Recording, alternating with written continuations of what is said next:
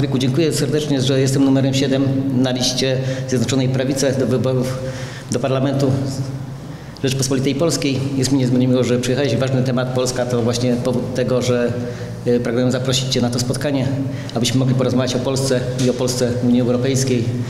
Słuchałem Twoich wypowiedzi na temat, jestem zachwycony, więc uważam, że to jesteś najlepszą, odpowiednią osobą do tych tematów w kampanii wyborczej, ale również w tych czasach trudnych, kiedy wybory się odbywają.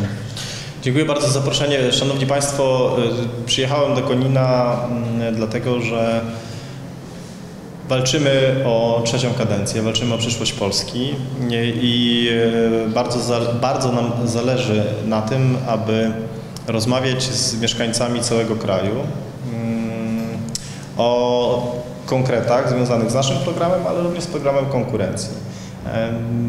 I dlatego tradycyjnie fo- formuła naszego spotkania jest taka, że y, najpierw ja przekażę kilka y, najważniejszych y, informacji, a potem odbywa się swobodna rozmowa pomiędzy, pomiędzy mieszkańcami dzisiaj Konina. I uważamy, że ta forma, uważam osobiście, że ta forma jest bardzo ważna. To po pierwsze.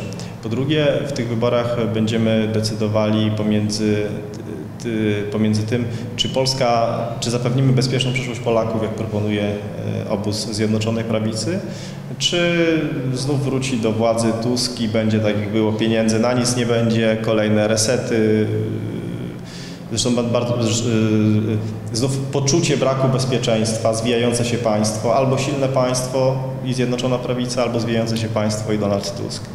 E, No i po trzecie zresztą, i po trzecie jestem tutaj dlatego, że chciałem poprzeć y, y, do parlamentu Roberta Popkowskiego, który jest dynamicznym radnym, działaczem społecznym suwerennej Polski tutaj na e, tutaj na terenie Wielkopolski i uważam, że takie osoby są potrzebne w przyszłej kadencji parlamentu.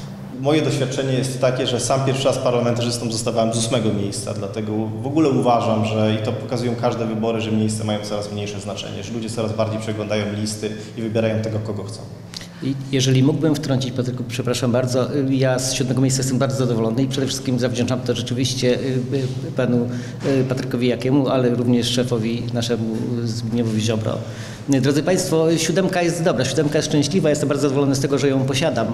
Natomiast tak jak powiedział w debacie politycznej nasz poseł Ryszard Bartosik do pana Kłodziejczaka, że tak naprawdę no, spadochroniarze tu spadają i po co oni tutaj są. My też tak podobnie uważamy, natomiast mamy miejsca, mamy miejsce siódme, to siódme miejsce jest bardzo dobre i jak najbardziej jesteśmy z tego zadowoleni.